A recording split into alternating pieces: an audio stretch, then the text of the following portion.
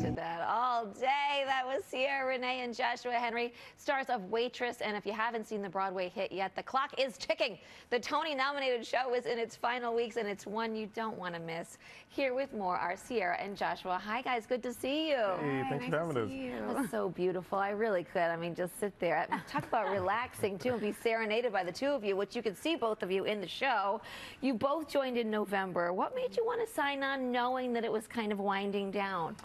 I mean, to be honest, my friend Ciara, she, I heard that she was going to be Jenna, and um, it winding down, I haven't been on Broadway in like three years. Yeah. So knowing that this was just going to be six weeks, the combination nice, of that right? and working with a friend who I respect so much was like was my reason enough. It's a no-brainer. Yeah. Yeah. Yeah.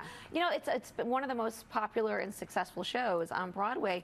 What do you think it is that, that people love about this show so much? I mean, I think it has so much heart, Yeah. you know, and it's there's a lot of reality in it, and then there's also this unreality, ethereal, fun, comedic, you know, texture to it as well.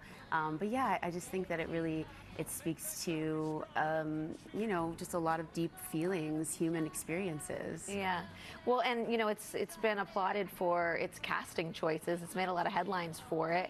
How do you think this show has put its stamp on Broadway?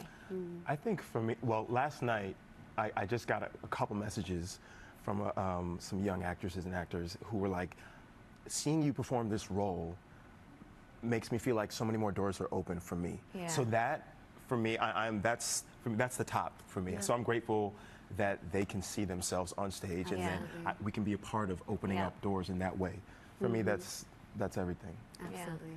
Well, and you guys, like you mentioned before, you've worked together before in The Wrong Man. Yeah. I don't know if you've worked together in other things too, but Yeah. what's it like being back together and being, uh, being on stage on Broadway, getting to experience this together together again? It, it's so lovely. Like he surprised me and told me before it had been announced that he was going to be my Pomatter. He called me. I thought he was pranking me. He's like, "Congrats on Jenna. I'm going to be your Pomatter." I was like, "What?" Because it was. You're like, I oh, wouldn't that be nice? I know. It's a dream come true. I mean, when we worked together on Wrong Man, it was um, such a like healing and compassionate and beautiful um, project that we got to work on together, and we became really good friends. And I respect you so much. So it was great to know that he, you know, we were going to be on this one together. Especially Yeah. like you said, coming back after not doing Broadway for so long, and you know, stepping back into this and being like, okay, I'm surrounded by people I know and trust and love. you Yeah, support really good. system. Yeah. Yeah.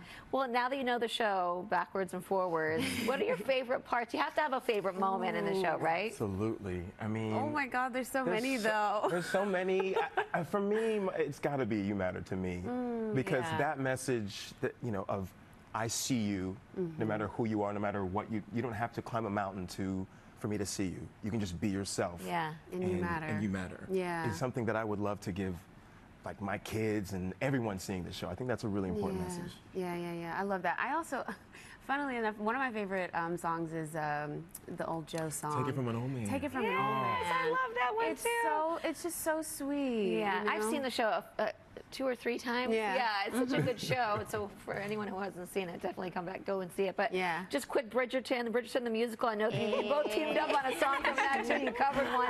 If this show came to Broadway, is this something you'd want to do together? We've talked about this many Really? A times. million times. So, we want yes, this. now This that must we- happen. Yes, we definitely Make want to do this for sure. We're putting it out there, Come on, everybody. manifesting. we have done that with this show before, so I'm, I'm gonna next time you come on, we're gonna be talking about the Bridgerton musical. Okay, you can catch Love it. Waitress on Broadway now through January 9th. For tickets and more info, head to waitressthemusical.com. Thank you so much, guys. Thank Great you. to talk to you.